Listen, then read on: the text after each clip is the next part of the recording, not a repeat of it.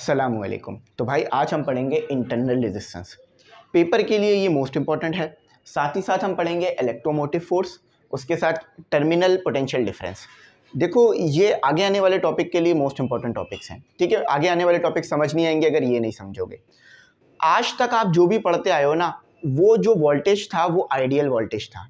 लेकिन आज आप पहली बार एक प्रैक्टिकल लाइफ में यूज़ होने वाला सेल अब ये कौन सा सेल है? पेंसिल सेल या रिमोट सेल जो आके, जो कि आप लाकर रिमोटों में लगा रहे होते हो, अपने टीवी के रिमोट में। तो उस सेल में क्या काम हो रहा होता है? ये हम हम पढ़ेंगे। पोटेंशियल डिफरेंस उसमें कैसे होता है, ये पढ़ेंगे। देखो, याद रखना, ये बड़ा तंग करेंगे ये टॉपिक ये ई e और ये टर्मिनल पोटेंशियल डिफरेंस तो अभी अगर इसे समझ लोगे ना तो ये आगे आपको तंग नहीं कर पाएँगे। तो चलो, आओ इसे पढ़ते हैं। देखो, आप बैटरी खरीद के लेकर आए या आप एक सेल खरीद के लेकर आए, वो आपको इस तरह का नज़र आता है। सबसे पहले मैं इंटरनल रेजिस्टेंस पढ़ाऊँगा, उसके बाद आगे चलूँगा। लेकिन पहले ये समझ लो।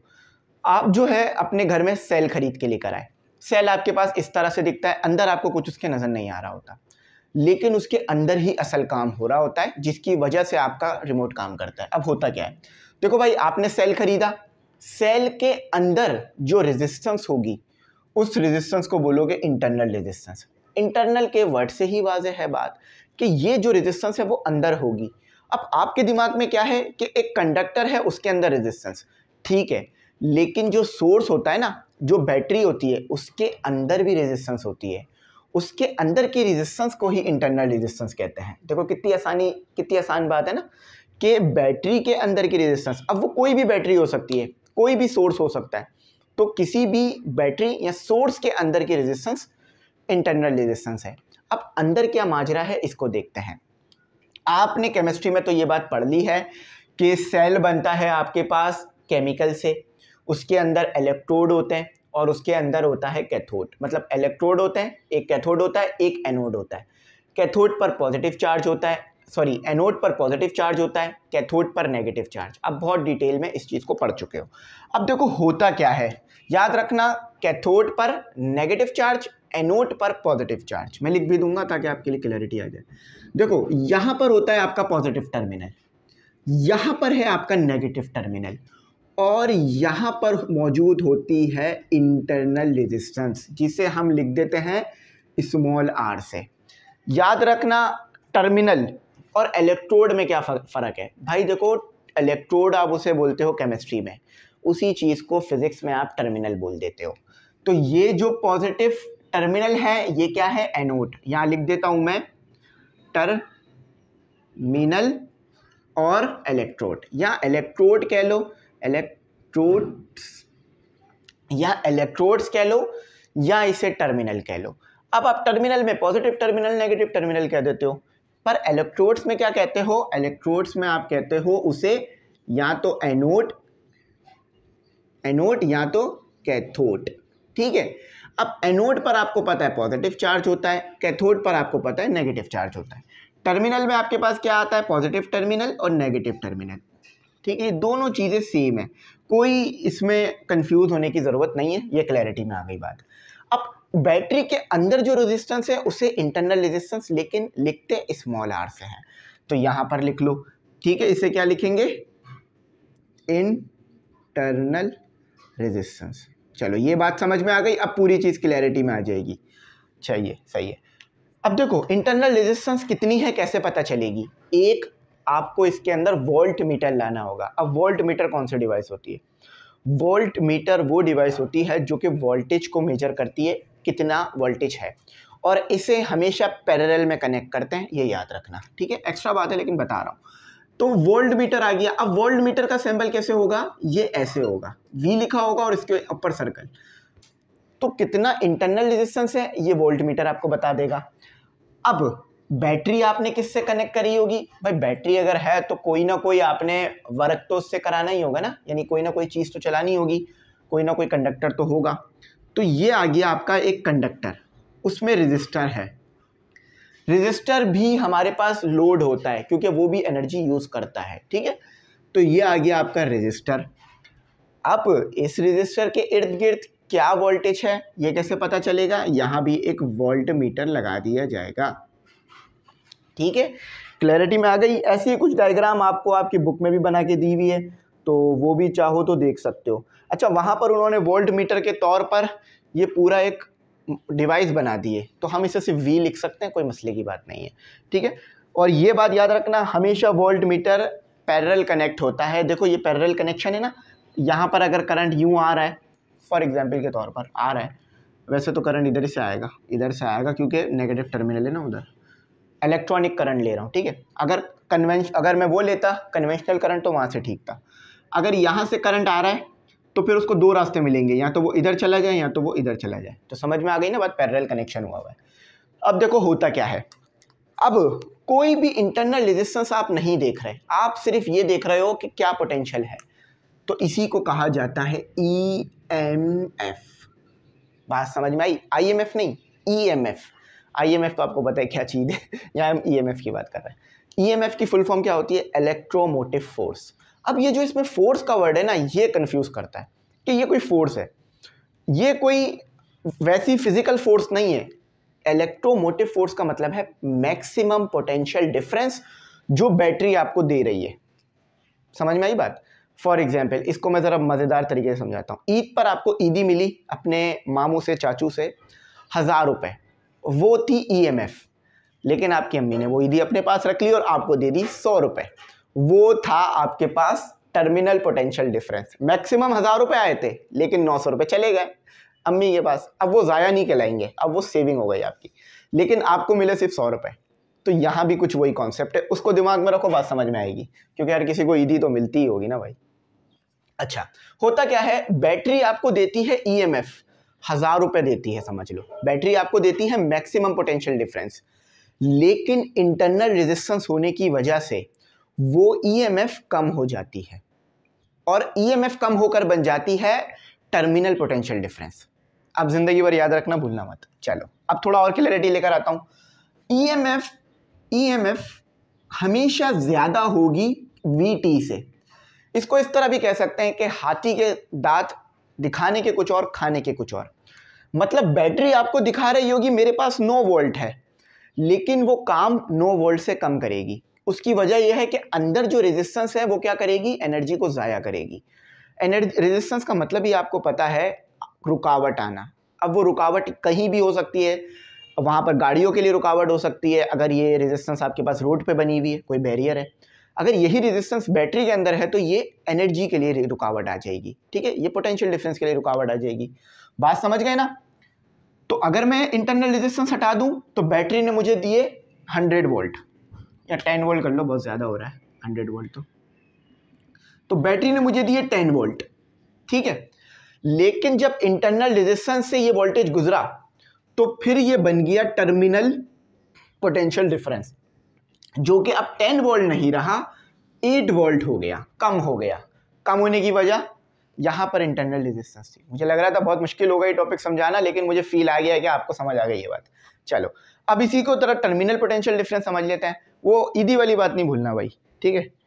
तो maximum potential difference offer by a battery no current flow एक और बात भी समझ लो ईएमएफ जब चेक कर रहे होते हैं ना तो हम ये सर्किट ओपन कर देते हैं। यानी कोई भी करंट फ्लो नहीं करने देते हैं। यहाँ शायद नज़र नहीं आ रहा होगा, इधर बना देता हूँ। तो हम क्या करते हैं, कोई भी करंट फ्लो नहीं होने देते हैं। क्योंकि अगर करंट फ्लो हो जाएगा तो फिर हम हम कितनी मैक्सिमम वैल्यू आ रही है वो पता नहीं कर सकेंगे। तो हम क्या करते हैं? इस पाथ को ओपन कर देते हैं और फिर मेजर कर लेते हैं कि क्या ईएमएफ e की वैल्यू आ रही है।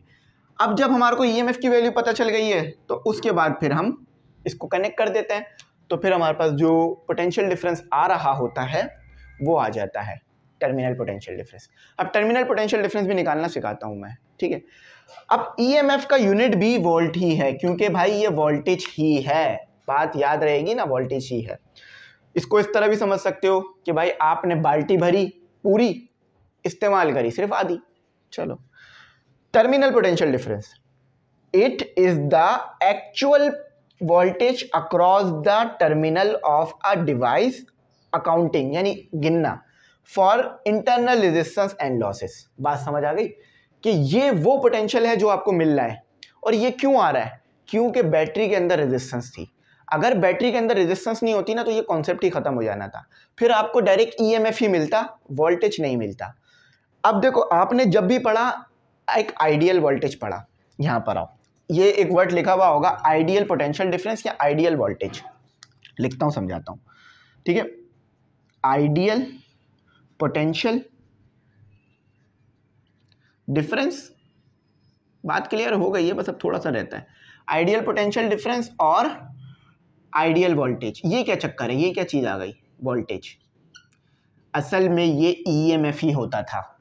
क्यों ये ईएमएफ e होता था? बात समझ गए हो आप। देखो, जब भी हम कहते हैं आइडियल, इसका मतलब हम क्या कर रहे होते हैं? क्या हटा रहे होते हैं? पढ़ा है ना, ideal fluid, ideal friction. Ideal वैसे फ्रिक्शन में भी आ रहा होता है, आइडियल का वर्ड। आपने जब जब आइडियल का वर्ड पढ़ा है तो एक चीज़ आपने हटाई है, और वो क्या हटाई है? ज़रा सोचो, मैं मैं अब नहीं बता रहा, आप सोचो। कमेंट सेक्शन में मुझे बताओ कि आइडियल का वर्ड क्यों लगाते हो आप? Why we will why we use word of ideal resistance को हटाने के लिए फ्रिक्शन को हटाने के लिए। कहते हैं ना, ये सिस्टम आइडियल है। इसका मतलब है कोई रेजिस्टेंस नहीं है, कोई फ्रिक्शन नहीं है। कहते हैं ना आइडियल वोल्टेज यानी कोई रेजिस्टेंस नहीं है। तो जब कोई रेजिस्टेंस ही नहीं होगी तो जो ईएमएफ e है, वही आपको मिल जाएगा।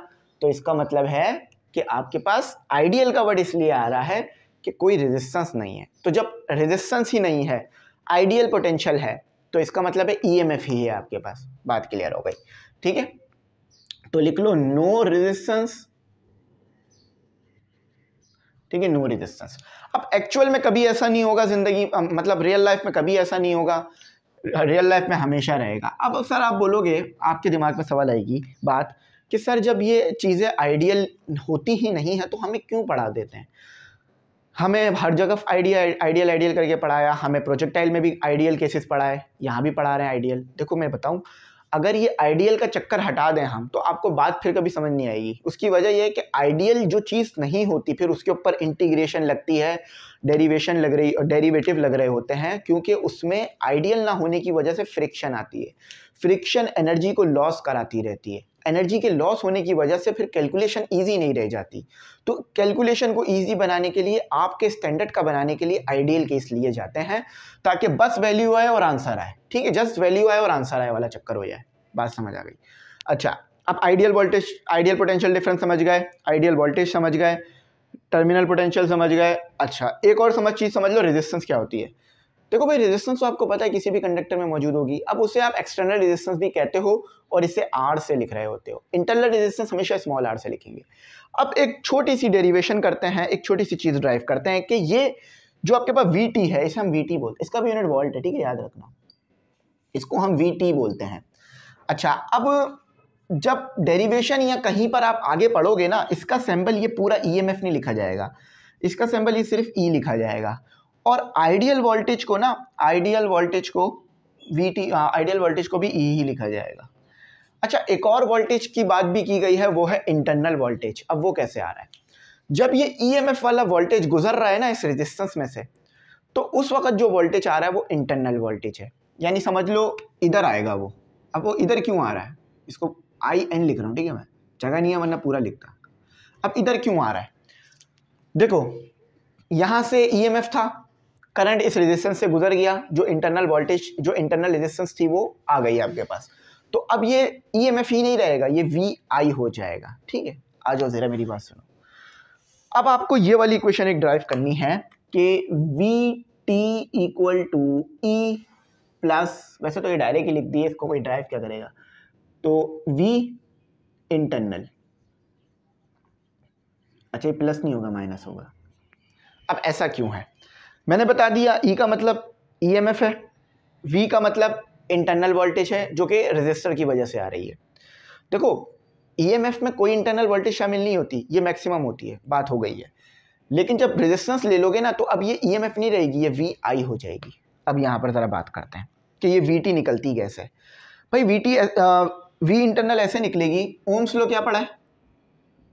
ओम स्लो ओम स्लो आपको कहता है V is equal to I R कहता है, यहाँ पर आर क्या है आपके पास?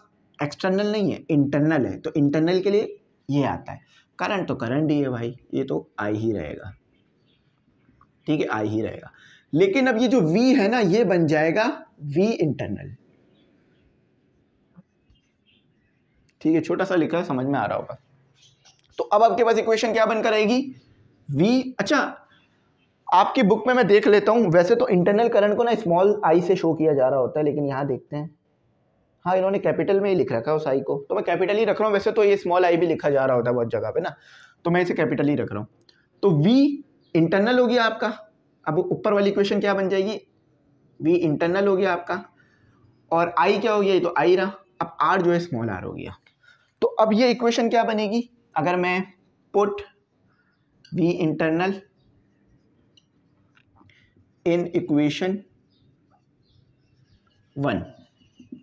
Equation की स्पेलिंग थोड़ी बेहतर कर लेते हैं। तो ये क्या बन जाएगा आपके पास? वी टर्मिनल यानी जो आपको मिल रहा है वो क्या है? वी टर्मिनल जो मैक्सिमम क्या था? ई e था, और वो कैसे आया? आई आर के मदद से। ये। बस ये छोटी सी एक थी, मैंने लिखवा दी। आई होप बात समझ आ गई होगी। अब देखो, मैं काफ़ी क्लैरिटी में ले गया हूँ चीज़ों को। लेकिन मैं फिर भी चाहूँगा कि थोड़ा और क्लैरिटी में लेकर आऊँ चीज़ों को तो थोड़ा सा मैं पढ़ भी दूँगा। वैसे तो मैंने बहुत ईजी करके लिखवा दिया, लेकिन मैं थोड़ा सा पढ़ दूँगा। इंटरनल रेजिस्टेंस क्या है? Internal resistance is the opposition opposition यानी रुकावट, जो चीज़ को रोके। To the flow of current ये असल बात लिखी है विद इन अ बैटरी देख लो बैटरी के अंदर बनाया था। यहाँ भी यही बात लिखी हुई है। अच्छा और जब आप बैटरी ख़रीद के लाते हो, आपने देखा होगा कि बैटरी फूल जाती है। गर्म हो जाती है, क्यों होती है? इंटरनल उसके रेजिस्टेंस मौजूद है। ठीक है, लोग सोचते हैं शायद आग लगी हुई अंदर। तो अगर आग लग जाएगी तो वो तो वैसे ही जल जाना है उसने। तो अंदर उसके रेजिस्टेंस होती है, जिसकी वजह से ये बैटरी गर्म हो रही होती है। अक्सर आपकी खुद की बैटरी भी पीछे से गर्म हो रही होती है। अभी तो नहीं हो रही, वरना तो दिखाता। दिखाता क्या, बता ही सकता था। अच्छा ये मैंने जो बैटरी की डायग्राम है तो पूरी खोल के ड्रॉ कर दी। ये भी एक्सप्लेन हो गई है आपको। ठीक है, अब थोड़ा सा यहाँ भी पढ़ लेते हैं। कि the internal resistance of a source of electromotive force has a significant effect on the terminal potential difference across the source अब ये बात जो मैंने कही, वही ये कह रहा है कि ये जो इंटरनल रेजिस्टेंस होती है ना, ये बड़ा ही इफ़ेक्ट लाती है। किसके ऊपर? ईएमएफ के ऊपर, यानी ईएमएफ को कम करके वी इंटरनल बना देती है। और साथ ही साथ फिर टर्मिनल वोल्टेज आ जाता है आपके पास उस वजह से, ठीक है? अच्छा अब देखो टर्मिनल पोटेंशियल डिफरेंस वहाँ पे लिखी हुई है, मैंने बहुत इजी करके बात, यहाँ पे थोड़ी मुश्किल करके लिख दी है। The terminal potential difference is the voltage measured across the terminal of the voltage source when a load is connected जब आप लोड कनेक्ट करोगे, आपको जो पोटेंशियल मिलेगा वो वीटी होगा। वो VT क्यों आ रहा है? क्योंकि एफ़ नहीं आया। एफ़ कम हो गया, वो वी टी बन गया। बात क्लियरिटी हो गई। अच्छा उसके बाद है पोटेंशियल ड्रॉप पोटेंशियल ड्रॉप क्यों हुआ? इस इंटरनल रेजिस्टेंस की वजह से पोटेंशियल कम हुआ। वही सारी बातें जो मैं बता चुका हूँ, इसमें डिटेल में भी लिखी हुई है। आप इंग्लिश में पढ़ना चाहो तो पढ़ सकते हो। क्लैरिटी में लेकर आ चुका हूँ चीज़ों में। देखते हैं कितना टाइम हमने पीडीओ में लगा लिया एटीन मिनट तो अब इसको यहीं रोकता हूँ। इनशाला अगले जितने भी टॉपिक हैं वो ऐसे ही आएँगे। और मैं फिर बता रहा हूँ, इससे पहले जितने भी टॉपिक आपने पढ़े, उसमें आइडियल वोल्टेज था। यानी ई e ही डायरेक्ट डील हो जाता था। क्योंकि वहाँ पर ज़रूरत ही नहीं पड़ती थी कि बैटरी के अंदर क्या काम हो रहा है, बताया जाए। लेकिन अब आप हायर लेवल पे जा रहे हो यहाँ से तो अब बैटरी के अंदर क्या काम हो रहा है, ये बताया जाएगा आपको। उम्मीद करता हूँ मेरी बात समझ में आई होगी। थैंक्स फॉर वॉचिंग अल्लाह हाफिज़। कीमती